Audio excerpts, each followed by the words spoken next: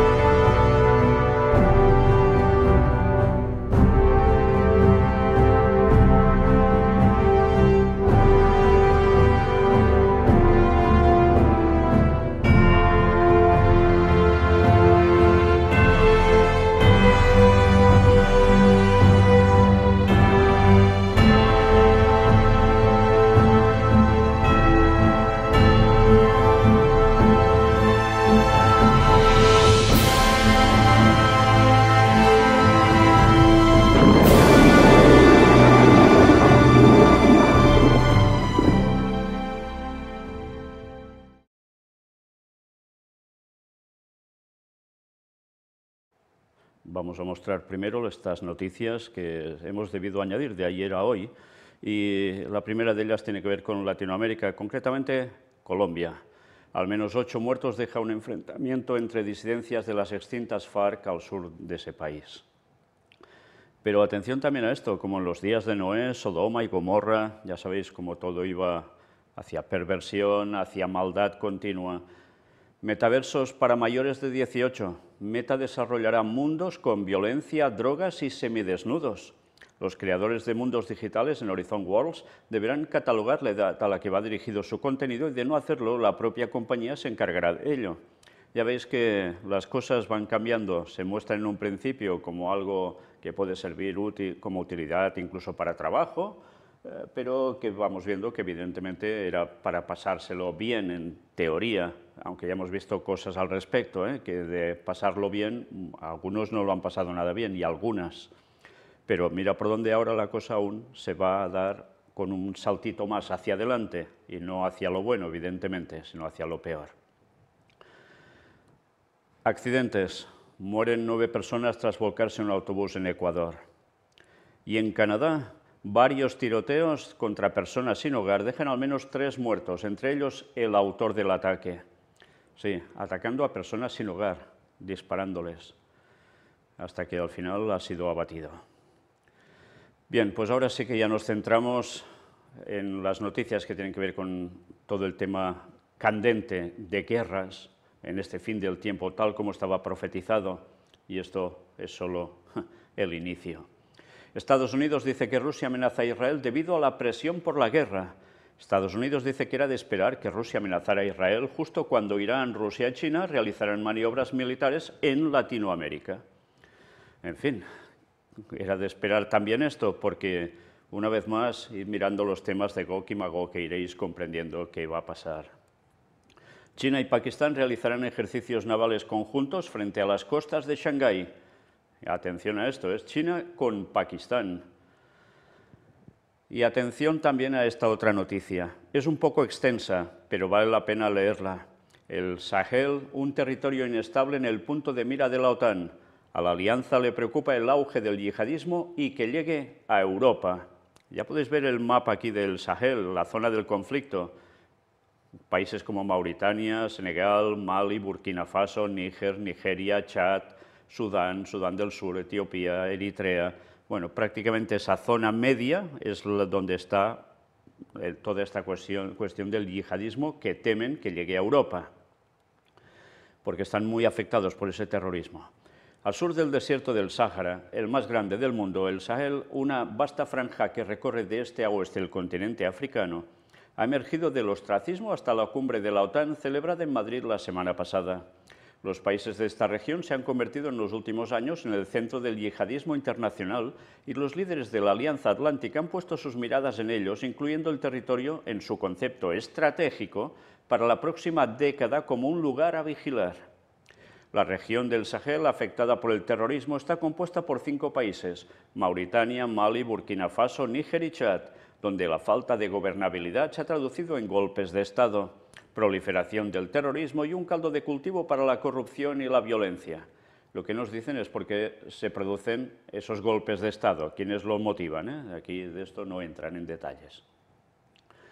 Las Naciones Unidas han alertado que en este 2022 son ya más de 30 millones de ciudadanos del Sahel los que necesitan asistencia vital y protección. Asimismo, más de 18,6 millones de personas sufren también inseguridad alimentaria severa.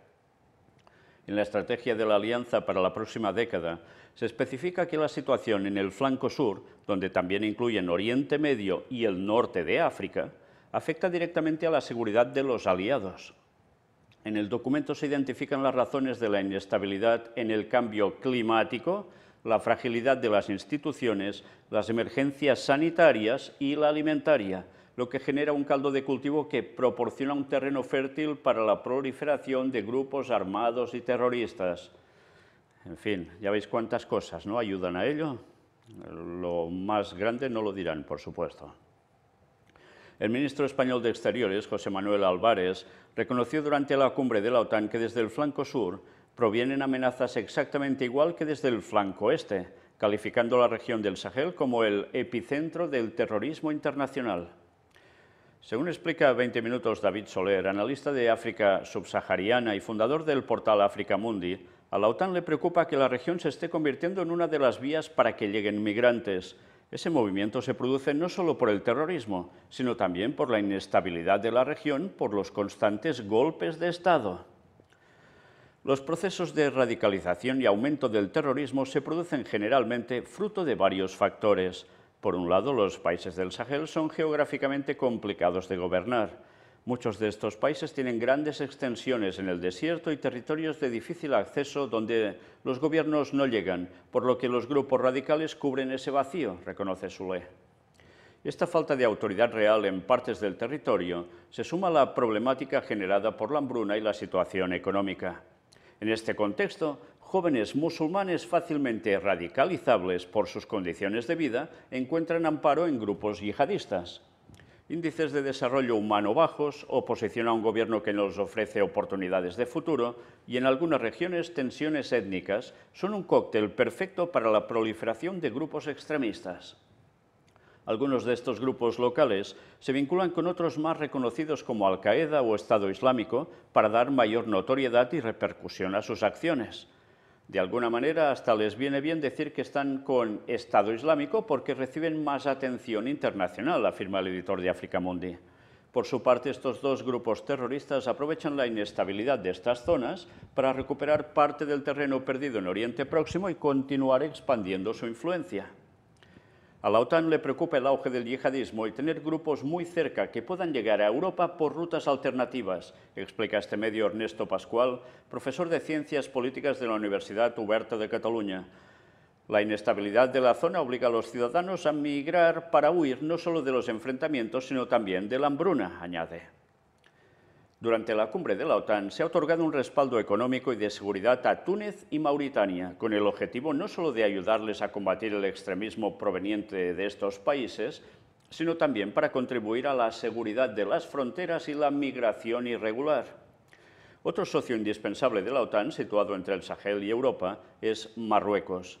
En el último gran salto a la valla de Melilla, muchas de las personas provenían de Sudán, país del Sahel Oriental donde el terrorismo no es el problema, pero sí el golpe de Estado que se produjo en octubre de 2021. Y ya sabéis, van cruzando esa valla y van llegando de un modo u otro a España. Y, otros entran por Italia y otros por Grecia y es un no parar. Bueno, pero todo esto no está pasando porque sí. Aquí veis muchos factores que nos están diciendo el por qué, pero aún falta también el resto que tantas veces hemos ido comentando. Antes iban por Libia, pero allí les tratan como a perros, por lo que han optado por otra ruta y por eso acaban yendo vía Marruecos, afirma Sule. Para el analista de África subsahariana, que la OTAN, que es una organización militar, ponga la migración como prioridad estratégica, tapa el problema de origen que debe ser tratado por otras organizaciones internacionales que no son de carácter militar y que lo llevan intentando muchos años sin éxito. Están pensando más en la consecuencia que en la causa y da la sensación de que se ha perdido la esperanza relacionando la migración con la inseguridad, sentencia. En el concepto estratégico aprobado por la OTAN también se señala que el auge terrorista en la región permite la interferencia desestabilizadora y coercitiva por parte de competidores estratégicos, en referencia a los dos países señalados por la alianza en el documento, Rusia y China. Y esta, en verdad, es la clave de todo. Pero aún hay más, porque ya sabemos que a alguien le interesaba que viniesen olas migratorias de todos esos países hacia Europa para provocar una desestabilización también en Europa. Y esto es lo que evidentemente no nos van a contar. No podemos olvidar que estamos viviendo un auge de la actividad rusa en muchos países del flanco sur, que nos interesan y debemos ser muy sensibles a esa realidad, afirmó una semana antes de la cumbre el embajador del Reino Unido en España, Hugh Elliott. Y claro, esto también lo hemos de tener presente. China, Rusia, Estados Unidos, aliados, todos se mueven en esos territorios por intereses, evidentemente, y, como no, todo eso complica aún más el asunto. Pese al interés por vigilar la zona, más allá de apoyo económico y adiestramiento, por una intervención militar de la OTAN será complicado. En el último año varias misiones de países europeos en Mali y Burkina Faso se han retirado o han sido expulsadas tras las tomas violentas de poder. La OTAN tiene muy difícil intervenir porque para actuar tendrían que llegar a un acuerdo con los gobiernos locales y la alianza no está muy bien vista en la zona, explica Sule. Además, contrarrestar la influencia de Rusia o China tampoco será fácil. Rusia es el mayor exportador de armas a África y, según Pascual, tanto el Estado ruso como el chino han aumentado su presencia en el continente a base de ejecuciones de infraestructuras a cambio de explotaciones mineras y tierras raras. Sí, negocio, negocio que además les da pie a poder estar allí y tener un peso fundamental en la zona. Pues evidentemente esto no le interesa a quién, a Estados Unidos y aliados. Por otro lado, la presencia de grupos paramilitares como el ruso Wagner es más que notable en la región. Para los profesionales de las guerras, África es el territorio donde se ganan la vida, afirma Pascual. El futuro de estos países y sobre todo el de los ciudadanos obligados a quedarse no es especialmente halagüeño. Después de diez años de constante deterioro político y humanitario, la OTAN señala por primera vez el Sahel. El yihadismo y la inestabilidad han puesto en alerta a la alianza, que busca blindar sus fronteras a través de sus aliados en la zona. Por tanto, una vez más, territorios tan cercanos donde nos hablaba la profecía de Daniel 11. No falla, si es que todo se va cumpliendo y lo tenemos delante nuestro. Pero más noticias aún. Putin tiene listo el submarino definitivo, así es Belgorod, con potencia para arrasar ciudades y desatar tsunamis radiactivos. Vaya, casi nada, ¿eh? Sigamos. Rusia y Kazajistán continuarán fortaleciendo su cooperación estratégica, anuncia el Kremlin. Moscú y Nur-Sultán van a desarrollar proyectos concretos en los ámbitos económico y comercial y energético, acordaron ambos líderes. ¿Se os dais cuenta cómo se van formando unos bloques muy concretos? Biden no descarta la acción militar de último recurso si no hay pacto con Irán. Bueno, una vez más Irán por en medio. Estados Unidos advierte a China que defenderá a su aliado Filipinas en caso de un ataque armado en el mar de la China meridional y Pekín responde. Y desde luego poca gracia les hace.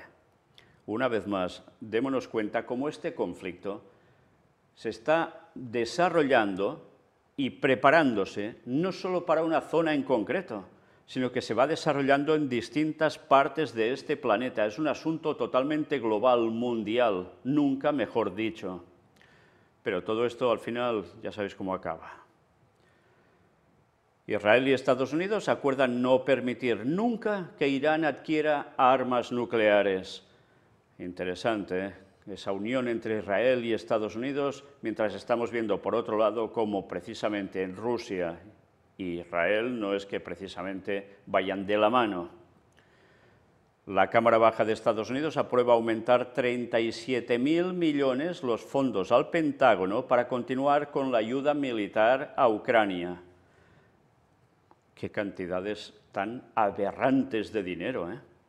Imaginaos si esto lo invirtieran solo una parte en arreglar sus problemas internos con toda la cantidad de pobreza que llegan a tener allí.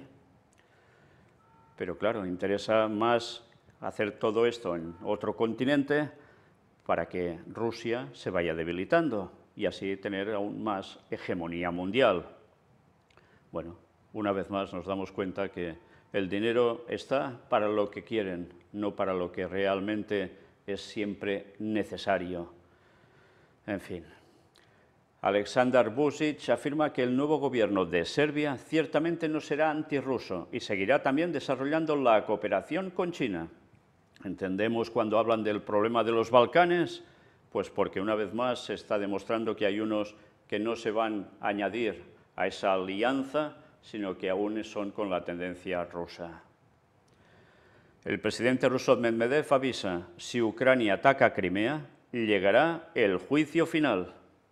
Vaya, con estas palabras ya se ve venir que de lo que están hablando no es solo de petarditos y cuatro tiritos, ¿eh? va mucho más allá de esto. Bueno, me lo salto para ir directamente a esto otro.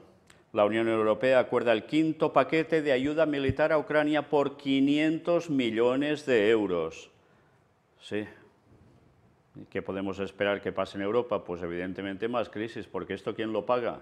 Los pueblos, cada nación, los habitantes, en fin. Sigamos. El próximo bombardero invisible de China tiene capacidad nuclear para lanzar misiles. Esta aeronave puede transportar cuatro misiles de crucero hipersónicos, soporta una masa máxima de 200 toneladas y tiene un rango de entre 8.000 y 12.500 kilómetros. Casi nada, ¿eh? Dicho desarrollo chino tiene la suficiente capacidad de cubrir las necesidades militares del país. Además, si traspasa la segunda cadena de islas, existe la posibilidad de que pueda atacar al territorio continental estadounidense por medio de misiles guiados de largo radio. Por tanto, petardos a superdistancia. ¿Entendéis? Vaya armamento tienen unos y otros. Desde luego, no es de extrañar cuando el texto bíblico dice que el Señor está reteniendo a los cuatro ángeles que aguantan los cuatro vientos de la tierra, de los conflictos de todo el mundo, porque al momento en que sean soltados, ¿os estáis imaginando lo que va a pasar? y van a ser soltados. ¿eh? En fin, más noticias. El Kremlin. Rusia e Irán son capaces de minimizar los efectos de las sanciones a través de la cooperación. Por tanto, les van poniendo sanciones, pero ellos aún se van saliendo, porque están haciendo más negocio entre ellos. Pero ya veis una vez más quiénes son descaradamente ya los aliados. Rusia, Irán, lo hemos visto con China, hemos visto también Pakistán, India cada vez más, en fin. Jefe de las Fuerzas Armadas de Israel, preparar la opción militar contra Irán es una obligación moral. Sí, y aquí está el kick de la cuestión, Israel, por todo lo que implica e implicará. Pero bien, sigamos. Aliado de Putin asegura que el mundo se dirige a una guerra en la que no habrá vencedor, y lo dice Alexander Lukashenko, el presidente bielorruso. Pero ahora atención, porque en medio de todo este desconcierto, de despropósitos, que son todo el tema de guerras y rumores de guerras por todos lados, vamos a ver un vídeo que ha aparecido donde se habla de que Nueva York muestra qué hacer ante una alerta nuclear. Claro, cuando ves todo el panorama y les llegan con este vídeo, pues ya es más para irse corriendo de allí que nada, ¿no? Pues visto lo visto, pocas ganas dan de quedarse por Nueva York, ¿no? En fin, sigamos. Lavrov dice, Estados Unidos y Reino Unido arman a Ucrania para volver a Europa en contra de Rusia. Es ventajoso para los estadounidenses y los británicos porque están al otro lado del océano, están lejos y la economía que sufre los principales daños es la europea. Y es verdad, es que es de una obviedad absoluta, pero Estados Unidos tampoco se va a quedar corta en los problemas económicos, por supuesto. En fin, mirad también esto porque vale la pena leerlo. El alcance de la operación especial, que es como ellos llaman la guerra que tienen en Ucrania. El titular de la cartera de Exteriores señaló que el actual alcance geográfico del operativo ruso es ya diferente al que estaba sobre la mesa durante la ronda negociadora celebrada entre las delegaciones ucraniana y rusa en Estambul, en Turquía, en marzo pasado. Ahora la geografía es otra. No se trata solo de la República Popular de Donetsk y de Lugansk, sino también la provincia de Gerson y de Zaporozhye y algunos otros territorios, y este proceso continúa de forma constante y persistente, enfatizó el ministro. Lavrov explicó de que la decisión se debe a que Occidente, con ira impotente, sigue llenando Ucrania con armas de cada vez más largo alcance. Los objetivos geográficos se alejarán de la línea actual más allá. No podemos permitir que en la parte ucraniana que va a controlar el presidente Vladimir Zelensky o alguien quien lo revele, perdón, quien lo releve, se esté desplegando un armamento que represente una amenaza directa para nuestro territorio y el de las repúblicas que declararon su independencia y quieren determinar su futuro por su cuenta, defendió. Por tanto, solo decían atacar a este lugar y el otro. Pues ahora, dadas las circunstancias, dicen que no, que esto se va a extender por otros territorios. Una vez más, id mirando los temas de Gog y Magog y vais a comprender lo que nos hablaba la profecía de todo esto. Porque aún hay cosas que no hemos contado allí. Lo iremos mostrando, como ya sabéis, poco a poco, paso a paso, para que podamos ir viendo y comprobando y asimilando. Sigamos. Los ataques de la artillería turca matan al menos a ocho civiles en el norte de Irak, denuncian las autoridades del país. Sí, la situación entre Turquía e Irak tampoco es nada halagüeña. ¿eh? Alexander Lukashenko asegura que la guerra en Ucrania debe terminar para evitar una guerra nuclear. Vaya, qué frases que son esperpénticas. ¿eh? Siria, tres soldados murieron en un ataque israelí en Damasco. Sí, Israel no se queda quieto, ¿eh? va haciendo sus pinitos por distintos lugares, ya veis sobre todo dónde. Japón advierte sobre un creciente riesgo para la seguridad regional y global por la situación en Ucrania y Taiwán. Qué tensiones, ¿eh? Pyongyang promete a Washington y Seúl una inestabilidad sin precedentes en seguridad en vísperas de sus ejercicios conjuntos. Estados Unidos debe tener en cuenta que será tratado sobre la base de la igualdad cuando nos amenaza con armas nucleares, afirmó un alto funcionario norcoreano. Sí, no podemos olvidar en toda esta ecuación a Corea del Norte, que está íntimamente unida a Rusia y China. Desde luego, es que quien no se dé cuenta de cómo se está preparando todo para que haya un desenlace fatal, en serio es que no se entera de nada. Sobre todo si conoce la profecía bíblica. El problema es que hay tantos que se dicen cristianos y de la profecía bíblica al respecto, en estas cuestiones no saben nada de nada. Si Estados Unidos y sus aliados optan por una confrontación militar con nosotros, se enfrentarán a una estabilidad sin precedentes en lo que se refiere a la seguridad, dijo Choe. En este sentido, destacó que los ejercicios militares que Washington lleva regularmente a cabo con Seúl, o sea, de Corea del Sur, amenazan este año con derivar en una situación cercana a la guerra en la península. El funcionario norcoreano acusó a Estados Unidos y Corea del Sur de estar evaluando la posibilidad de desplegar activos nucleares estadounidenses durante su próximo ejercicio militar conjunto programado para agosto. Es que no estamos hablando de un tirachinas, estamos hablando de armamento nuclear. Desde luego es que parece que el, mundo está en plena locura y es lo que nos decían las profecías, y Ellen White lo fue detallando de un modo impresionante cuando hablaba de lo que es la locura que Satanás ejerce y los demonios sobre las naciones al fin del tiempo, que los va a llevar a la guerra, y de qué modo, y de qué modo. Otra noticia más, incomprensible para un miembro de la OTAN, la ministra de Exteriores de Alemania reprende a Erdogan por una foto conjunta con Putin y Raisi. Annalena Baerbock calificó la imagen tomada durante la cumbre tripartita en Teherán entre Rusia, Turquía e Irán de desafío para el bloque militar. Fijaos, ¿qué está haciendo Turquía? Siempre jugando a esos dos bandos, haciendo un equilibrio impresionante, porque sabe que es necesario para ambos bandos, que son rivales y está jugando con un pie aquí y otro allá. ¿Esto le va a durar por siempre?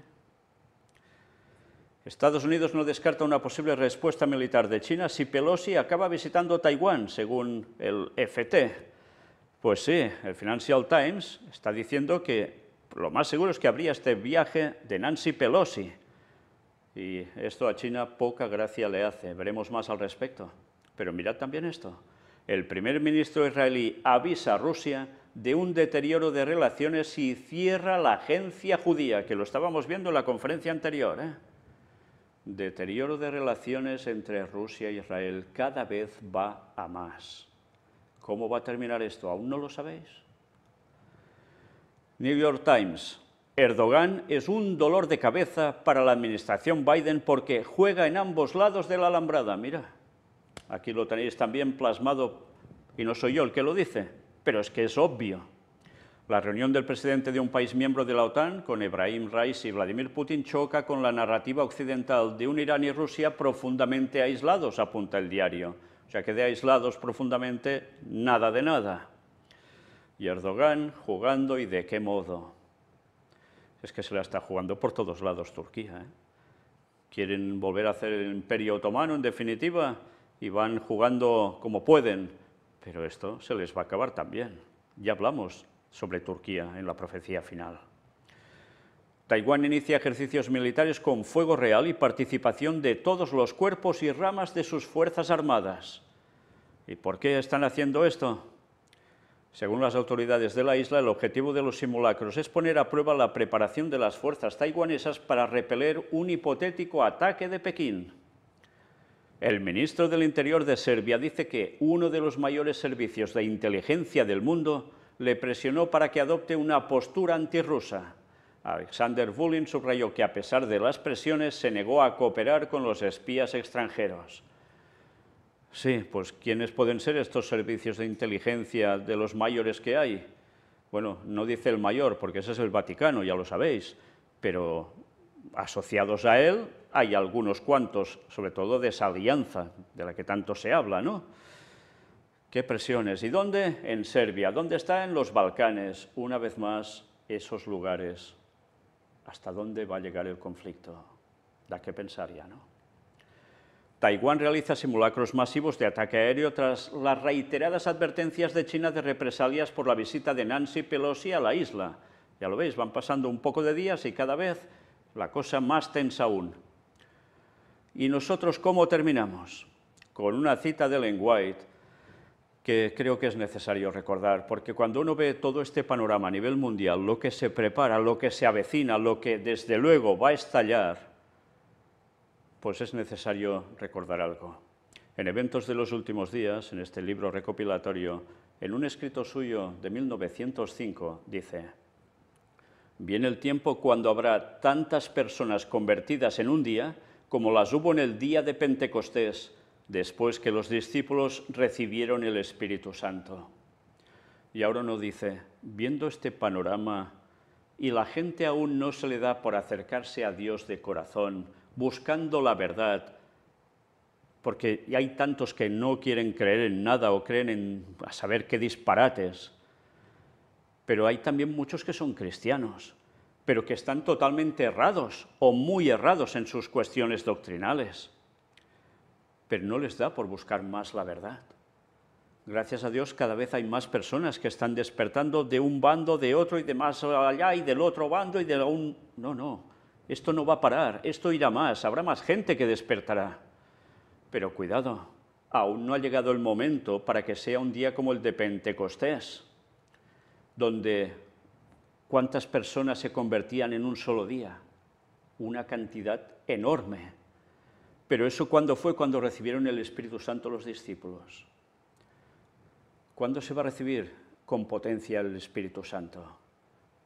Recordad que es a partir de la ley dominical, cuando habrá problemas ya directos para el pueblo de Dios, cuando entre nosotros nos dejaremos de tonterías, de bobadas, y nos vamos a centrar de lleno en lo que toca, de estar unidos y dar el mensaje pertinente para el fin del mundo, para que se preparen. El mensaje del cuarto ángel va a llegar a muchos, porque muchos van a hablar de, pero ¿quiénes son estos? ¿Qué están diciendo? ¿Por qué? Ahora, se niegan a aceptar el domingo como día de reposo y dicen lo del sábado, entonces esto estará en boca de todos. Pero ya veis, ahora cuesta entender, ¿no? Cuando vemos que todo se está preparando con tanta desgracia por todos lados y tanta guerra, pero la gente aún no va reaccionando. Muchos se dan cuenta que se avecina algo tremendo, crisis, guerra, sí, sí, hambres, pestes, sí, sí, pero aún les falta dar un paso. Ya os digo, cada vez más gente lo está haciendo, porque recordad que el derramamiento de la lluvia tardía es progresivo, no es de un día para otro solo. El mensaje del cuarto ángel va avanzando, va creciendo, va desplegándose y la gente va aceptando, pero aún no ha llegado el colmo de esa exposición de lluvia tardía, del derramamiento del Espíritu Santo sobre el pueblo de Dios. Cuando surja la ley dominical, entonces será el momento y entonces pasará esto. Mientras hemos de seguir anunciando al mundo todo lo que se viene para que la gente que lo vaya viendo, cuando llegue el momento, si aún no se ha decidido, diga, esto es lo que habían dicho esa gente y ahora se está cumpliendo de lleno delante nuestro y esto los va a motivar. Recordad lo que nos dijo Jesús, que nos decía todas esas cosas antes de que sucedieran para que cuando sucediera creyésemos. Y eso es lo que debemos seguir haciendo nosotros con toda la gente no callar y seguir dando el mensaje, porque muchos van despertando, pero muchísimos más lo harán, aunque también hemos de decir que aún y así va a ser minoría en el mundo. Pero no por eso debemos de dejar de darle el mensaje a todo el globo, a cada persona, sean de donde sean, crean en lo que crean. Llenémonos del Espíritu Santo, pidámoslo en oración, vivamos en consecuencia y a partir de aquí, unidos, Dios hará el resto. Todo tiene su momento, pero mientras no podemos quedarnos de brazos cruzados. Sigamos dando el mensaje. Maranata 2031. Dios os bendiga.